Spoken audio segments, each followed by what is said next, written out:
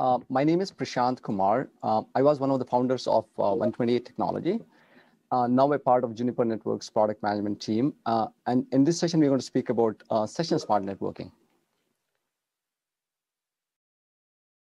So we started 128 Technology in 2014, and Juniper acquired us in 2020.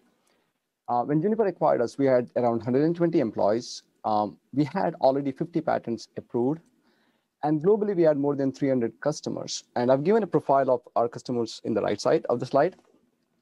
If you look at the profile, uh, we have the largest pharmacy chain in US, uh, deploying us in more than 10,000 um, pharmacies right now. We are already deployed in 2,000 pharmacies and 8,000 uh, pharmacies are planned for this year. We have the largest hospital chain in US, uh, around 800 hospitals and clinics uh, deploying 128 routers. Um, we, uh, we are deployed in more than three years uh, in the largest auto parts store in US. Uh, and we have consistently provided them five-nine reliability. Uh, Department of Defense. We have been working with Department of Defense for last three years. We have multiple projects going on with Air Force and Army. And the largest payroll provider in US um, has been our customer from three years. Uh, they have deployed us in both edge and in their core network and the largest oil services provider in US um, has been working with us for three years. Again, uh, deployed us in multiple uh, use cases. So, so my question to the team is that um, there are there are more than 64 uh, SD-WAN vendors in the market. Why did this high-profile uh, customer choose 128 technology? I'm going to answer that question in the next 10 minutes. So when we started 128 technology in 2014, uh, we looked at multiple network elements. You have routers deployed in multiple locations in the network. And then you have uh, load balancers, you have DPI devices, you have the IDS, IPS devices, and next generation firewalls, usually deployed in the perimeter or in the core, right? So we looked at the routers, said that it's been it's, it's been deployed in uh, multiple parts in the network, uh, and there is no innovation in the routing from last 25 years. So then uh, we looked at why do people build networks? People build networks for running services and applications, and the language of which is sessions, either TCP or UDP sessions. Then we looked at all the network devices, uh, as I said, right? Except for the routers, every other devices, uh, device in the network spoke the language of service uh, of services and, and application, that is sessions. So we said, if we can actually make a router uh, speak the language of service and applications, we will be able to build a service-centric uh, enterprise fabric, which is completely aware of all the services and applications running in the network, which is very powerful and has a lot of applications. Um, the, the most, three most uh, used applications uh, for the session smart networking from 128 technologies, uh, the first one is WAN, SD-WAN. Um, if you think about the, the customer profile I, I mentioned, the largest pharmacy chain, the hospital chain, and the, and the uh, auto parts store. They use us for SD-WAN. The second use case is zero trust security. Uh, the the US uh, the Department of Defense and the payroll provider uses for the, the zero trust security. And the third uh, use case is low bandwidth secure link. The the oil services provider uses for the low bandwidth uh, secure link. Now, the question I have is that how did we build this uh, session smart routing technology? Uh, the two fundamental um, fundamental principles on which we build this session smart uh, networking is the first one is our data model, and the second one is uh, secure vector routing, tunnel-free way of routing. So let's walk through it. Everything in 128 technology is based on this data model, authority, tenants, and service. So if you think about Juniper as uh, an enterprise, right? On the 128 technology router, you define Juniper as an authority, and then you have tenants and services. Uh, if you think about Juniper, and let's assume that Juniper has three departments, engineering, marketing, and sales. So you define three tenants on the 128 technology router, engineering, marketing, and uh, sales.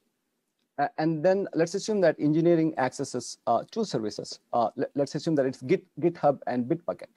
So you define two services, uh, Bit, uh, GitHub and Bitbucket and you explicit, explicit, explicitly specify in the access policy that the only uh, tenant which is allowed to access this service is engineering. So what you have done is that you have defined Juniper as an authority. You have defined two, uh, three tenants, engineering, marketing, and sales. And then you have devi- defined two services, GitHub and Bitbucket. And in the access policy in the service, you said that the only um, the only uh, tenant which can access these two services is um, engineering. Okay. If you look at this, right, and if you look at any other router in the market, every router in the market has allow by default policy. That is, when a router gets a packet, uh, it looks at the forwarding table and forward the packet to the next hop. That's what any router does. Unlike regular router, uh, 128 technology router has a default policy of deny by default. So when a packet comes to the 128 router, the very first thing we do is that we see whether the packet belongs to tenant, uh, the tenant defined on the product. In, in my example, the tenants are engineering, marketing, and sales. If the source prefix of the packet do not match engineering, marketing, or sales, 128 router is going to drop the packet and audit log it. Um, let's assume that it matches the tenant. Now, at the tenant level, you can see that you can define unique security policy per tenant. That's for engineering, I can say that any packet belonging to engineering tenant has to be encrypted and per packet authenticated based on the security policy defined uh, under that tenant, right? So what we do is that when a packet goes between all the 128 router in this service-centric fabric, all the packet belonging to engineering tenant will be encrypted using that security policy. Okay, so when the packet comes into the 128 router, we look at the source prefix, we match the tenant, now, once the tenant match is done, then the very next thing we do is that we look at the, the destination of the packet and see whether the destination matches the service the tenant is allowed to access. In the case of engineering, as I said, it's Bitbucket and GitHub. If engineering is trying to access anything other than Git, uh, GitHub and Bitbucket, we're going to drop the packet. However, if the, uh, if the engineering is trying to access um, GitHub or Bitbucket, the next thing you can do is that at every service level, you can define service policies. Service policies define exactly how the route uh, the packet will be routed. For example, in this case, let's assume that uh, that you you want to attach exact SLA parameters for that particular service, right? If the, if the service is voice, right? Voice is um, very sensitive to packet loss, jitter, and latency, and you want to take a link with the minimum packet loss, jitter, and, uh, and latency. That's exactly what SD-WAN is all about, right? You're attaching SLA at the service level, and you're routing the packet based on the SLA requirement of the service. In addition to the SLA requirement, you can also uh, specify the, the, the QoS policies. Uh, what should be the policing and shaping policy for this particular service? And you can also define the load balancing um, policy, right? So as I said, when the packet comes in, we look at the source prefix, map the tenant, and based on the destination prefix, we map the service and do the service policy matching and, the, and route the packet to the next 128T router. This is the first innovation we have done. The second innovation is tunnel-free secure vector routing. So I'm going to just build this slide. Okay, so once the packet comes to the, so I've shown a network with multiple uh, uh, session smart routers deployed. Once the packet comes to the first session smart router, the very first thing we do, as, is, as I said, is that match the tenants and services. Once the, the match of the tenant and service is done, what we do is that when we ship the packet to the next SSR in the network, the very first thing, very first thing we do is that we double NAT the packet. Um, so there is no tunneling. Instead of doing tunneling, we double NAT the packet.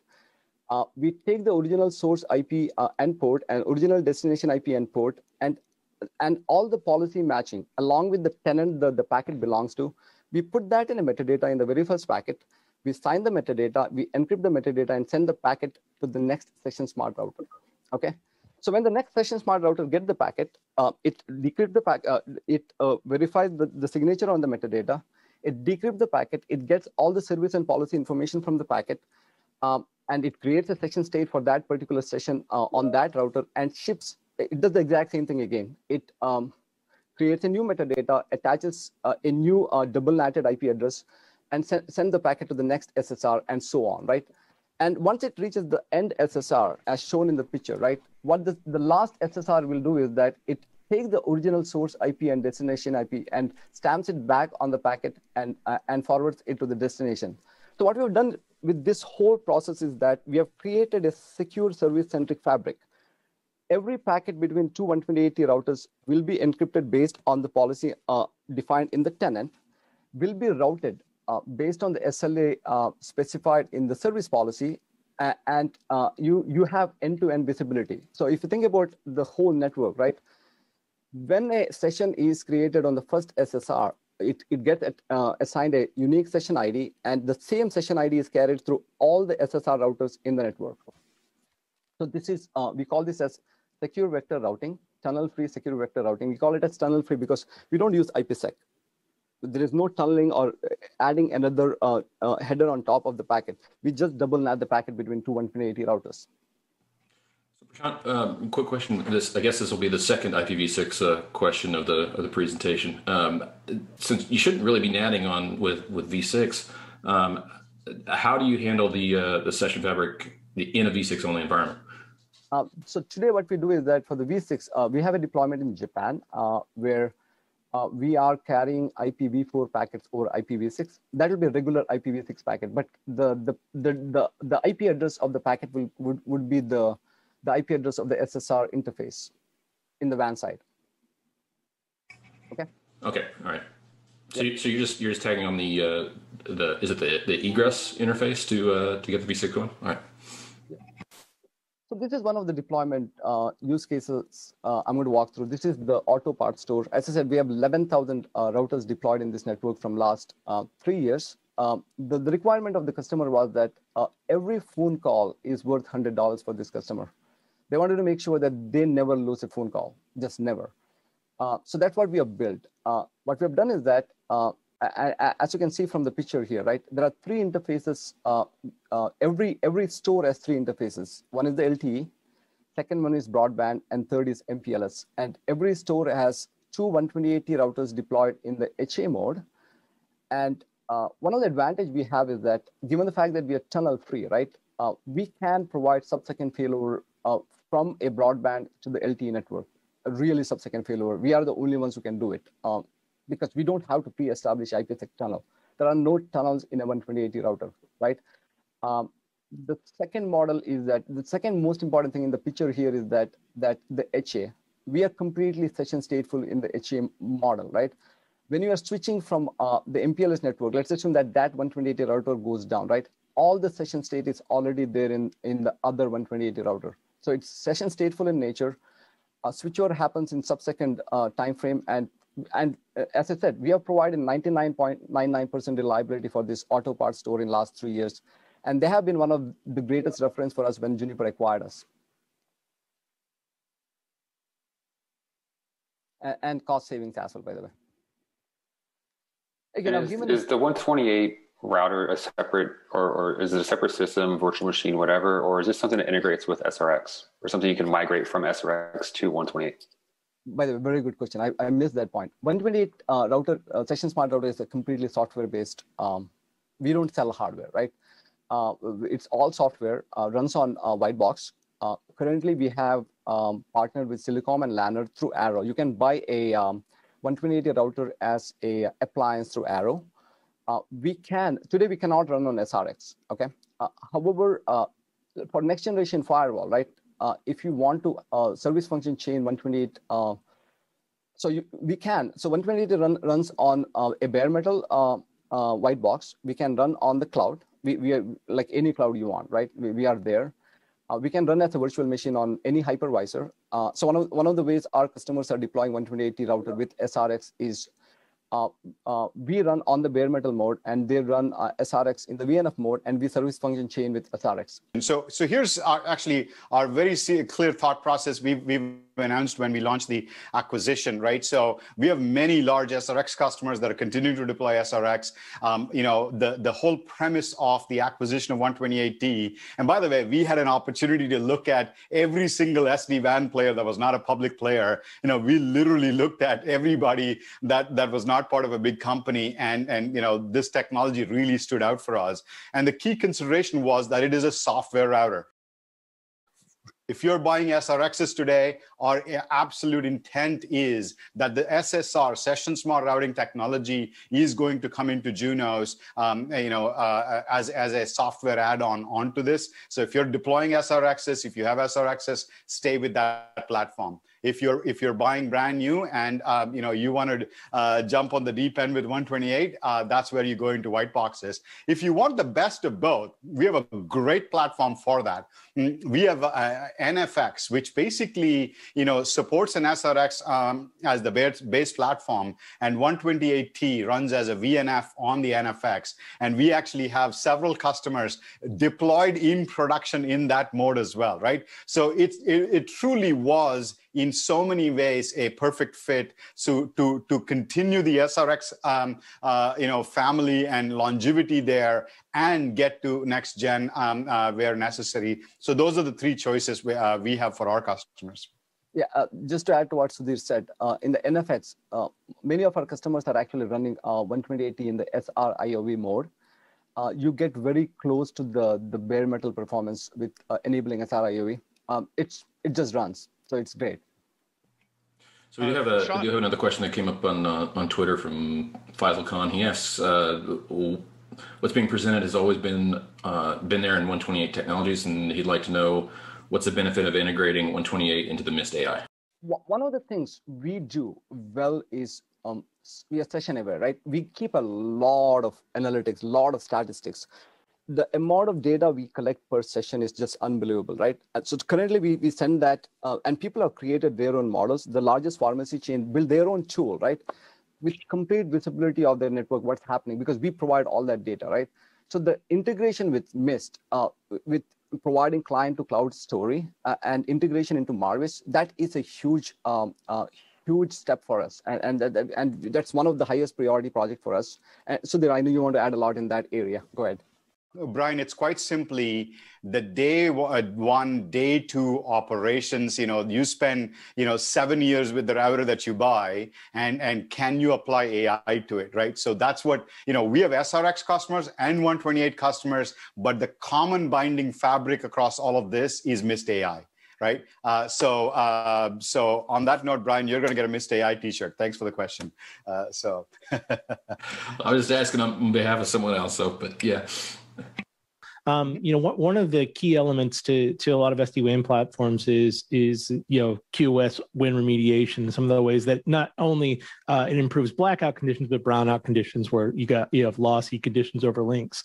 So I just wanted to ask if there was anything in, in the 128 tech, if you guys could talk about, you know, how if you guys have any of those mechanisms for error correction, uh, you know, uh, packet uh, de- uh, duplication or uh, those types of features. Definitely. Uh, so we have uh, we have uh, packet duplication, deduplication uh, across multiple links. In fact, we can do duplication of the packet on a single link. We we have uh, one of the one of the service providers in uh, in Africa deploying us um, on a single link. they are doing packet duplication. So we have all those features required to make sure that we can provide the highest MOS score for voice because that's very important for MOS for voice. Yeah, and one last question: How do you guys deal with uh, cloud-based apps, so not just site-to-site connectivity, but site-to-cloud? Yeah, so uh, we we do multiple things with uh, cloud-based apps. The first thing is that so if you think about, uh, let's take O365 as an example, right?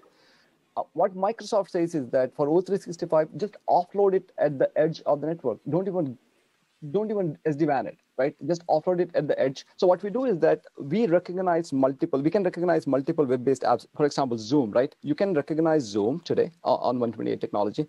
And we will assign a different traffic engineering uh, priority for that, highest traffic engineering priority for that, right? So that's how, so we can recognize a lot of SaaS applications and you can apply different treatments. You can either offload it, you can do traffic engineering and so on.